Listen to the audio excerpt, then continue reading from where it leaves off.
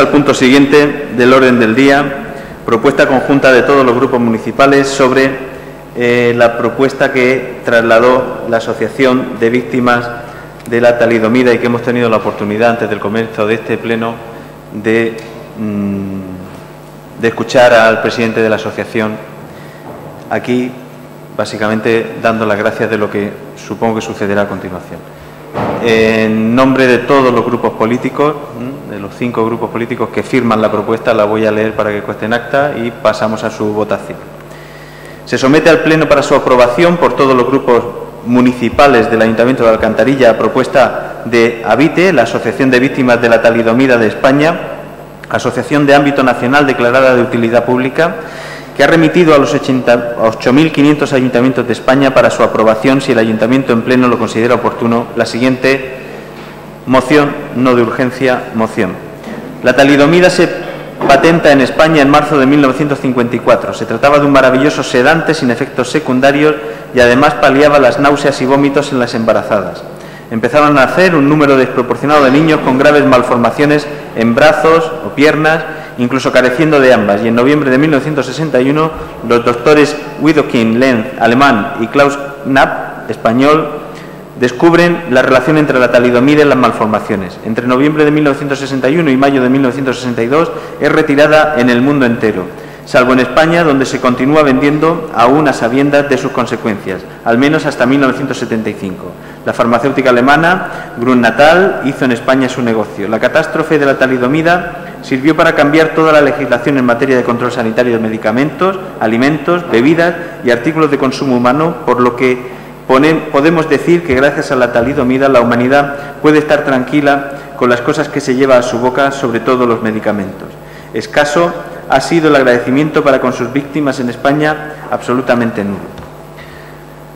Once han sido los años de lucha en busca de, una equiparación con las víctimas de la talidomida del resto de Europa y en este largo camino solo hemos logrado un Real Decreto 1006-2010 que reconocía solo a 24 personas y les concedía lo que el propio texto denominaba ayuda solidaria o dicho de otro modo más coloquial, una limosna para que nos estemos callados. Hemos conseguido también que la talidomida sea incluida en el Real Decreto 1851-2009 entre las causas que justifican una jubilación anticipada con 56 años a las personas que superen el 45% de discapacidad.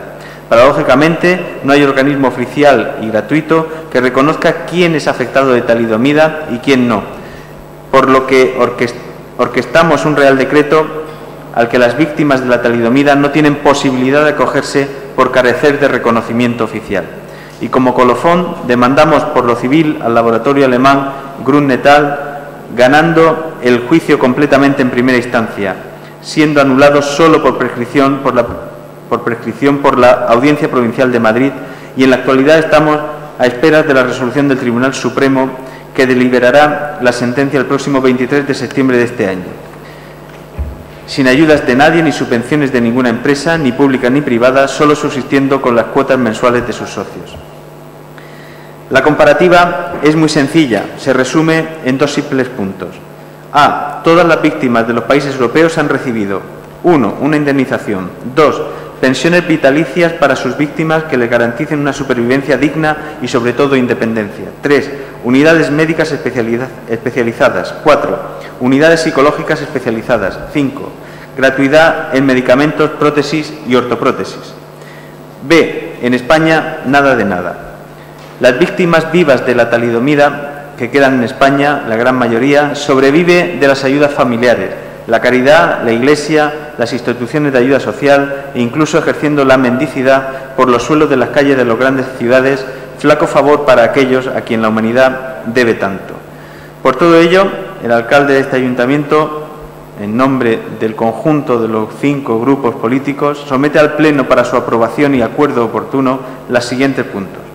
Primero, declarar el apoyo unánime y solidario del Ayuntamiento de Alcantarilla para con las víctimas de la talidomida en España y en particular a la Asociación Habite, por su lucha incansable y sin cuartel en pro y favor de las víctimas de este fármaco en España, por la deuda histórica que nuestro país tiene con los afectados, sus familiares, desde hace 60 años.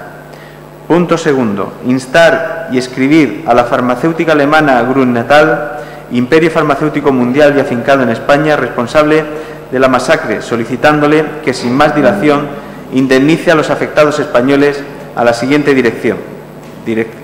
la dirección donde se va a remitir el escrito, la Dirección General de Grünnatal España.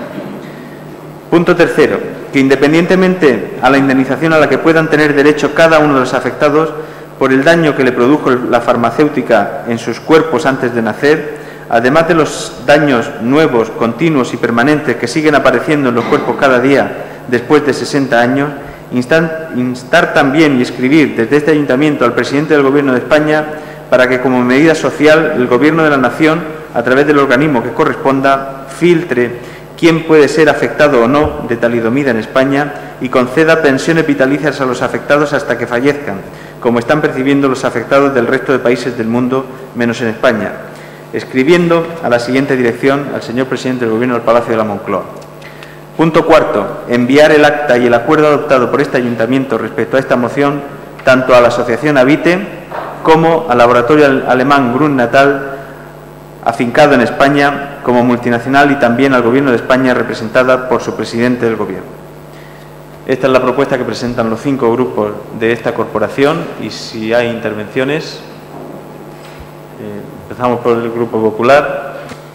Bien, desde el Grupo Municipal del Partido Popular queremos mostrar nuestro más unánime y solidario apoyo a Avite en su incansable lucha durante más de 60 años a pesar de recibir una mala noticia por parte del Supremo, pues les animamos a seguir luchando hasta, hasta el final y a luchar por su indemnización y por un trato justo y digno. Muchas gracias. Gracias, señor Gómez. Sí, señor alcalde. Sumarnos a, nuestra indignación por la, sentencia que hemos conocido del Tribunal Supremo. No siempre la justicia es justa en este país y creemos que esto es un claro ejemplo de ello. Ya, ya te lo dije ayer, Pepe, no decaigáis, tenéis más eh, presentar recursos ante el Tribunal Constitucional, en las instancias europeas, pero sobre todo vamos a confiar en que la voluntad de los políticos que tengan que venir se den cuenta de las injusticias que se están produciendo con las víctimas pertenecientes a vuestra asociación y de una vez eh, hagan justicia. Si no es eh, en los tribunales, que sí sea mediante la política, que también se debe utilizar para hacer justicia y en este caso eh, no cabe ninguna duda de que, de que, tiene que ser así. Ya sabes que nos tiene a nuestra disposición, igual que el resto de, grupos políticos, y que puedes contar con nosotros, eh, tú personalmente, así como tu asociación, para lo que, para lo que necesites. Gracias, señor Esturillo. Señor Álvarez con permiso, me da pena el pie, Pepe, porque hay temas que como cuando uno celebra un minuto de silencio, lo vuestro, como lo consideramos personalmente un crimen contra la humanidad, personalmente así lo considero, porque yo soy de tu edad más o menos, en aquellos años fueron muchos los que tuvimos que convivir con niños como tú, y lo sabes porque nos veíamos en aquellos tiempos. Y entendemos que cuando un Estado permite, cuando un Estado permite que 16 años después de haberse denunciado y haberse visto las consecuencias de un medicamento como este, eso es un crimen. Eso el Estado tiene que repararlo de alguna forma. Cuenta con todo nuestro apoyo. Gracias, señor Álvarez. Cambiemos. Igualmente que el resto de compañeros, eh, así se lo hice saber ayer, eh, que cuenta con todo nuestro apoyo. Es una pena que, en este país los tribunales no sean independientes y dependan siempre del gobierno de turno para legislar.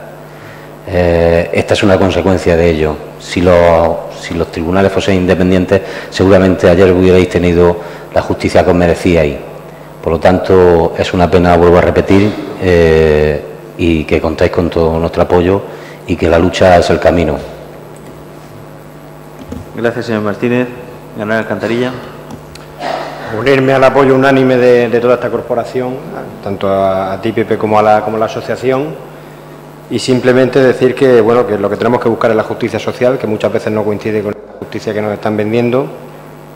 Evidentemente lo vuestro es casi, casi como decía un, crimen, como decía Paco, Y bueno, pues simplemente que confiéis, que sigáis adelante, que a veces las luchas parece que no se llega a ningún sitio, pero las cosas cambian y se llega. Y por ejemplo, pues te puedo poner que, mira, creo que es la primera vez que hay una moción de cinco grupos a la vez en este, en este consistorio. Así que bueno, pues si, empezamos cambiando por ahí, pues podemos conseguir muchas cosas. Muchas gracias. Pues pasamos a votar la propuesta conjunta de los cinco partidos eh, representados en este, de los cinco grupos representados en esta corporación, a propuesta de la Asociación de Víctimas de la Talidomida en España. ¿Votos a favor? Se aprueba la propuesta por unanimidad. Yo creo que se merece un aplauso.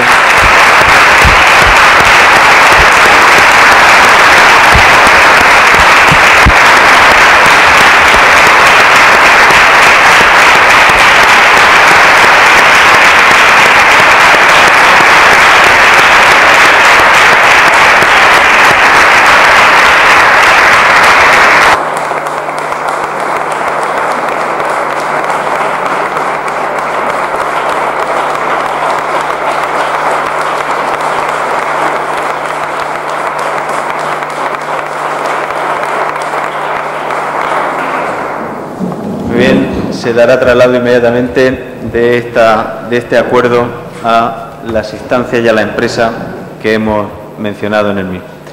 Pasamos al punto 15 del